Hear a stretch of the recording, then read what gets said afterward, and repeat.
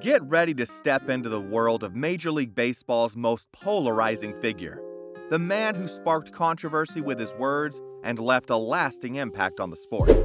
Join us as we explore the story of John Rocker, the most controversial player in baseball history. John Rocker was a Major League Baseball relief pitcher known for his powerful arm and less than stellar comments. Rocker made headlines in 1999 when he made controversial remarks in an interview with Sports Illustrated. John Rocker's interview with Sports Illustrated in 1999 is widely considered to be one of the most controversial interviews in the history of Major League Baseball. In the interview, Rocker made a series of remarks that were deemed offensive by many people. He criticized minorities, immigrants, and people with AIDS, among others, and made controversial statements about New York City, saying that he would never play for the New York Yankees because he didn't want to live in a city with queers and foreigners. He also made inflammatory comments about riding the subway in New York, referring to it as a vile place. The comments made by Rocker sparked widespread outrage and led to calls for his suspension or ban from Major League Baseball.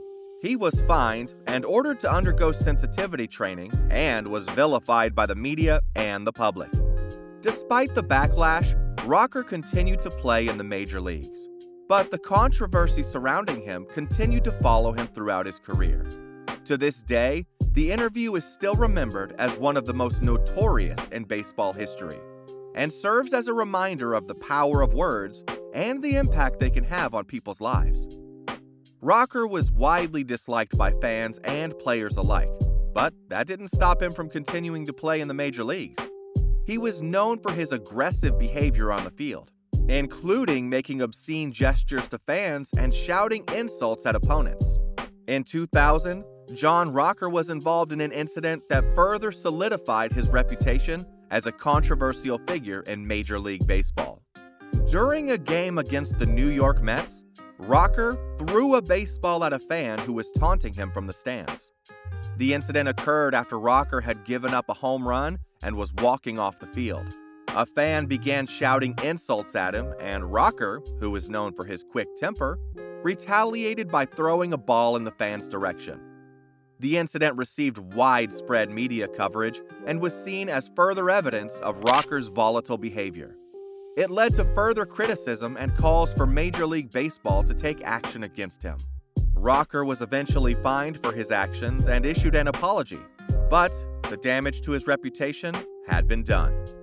But despite the controversy, Rocker had a sense of humor about it all.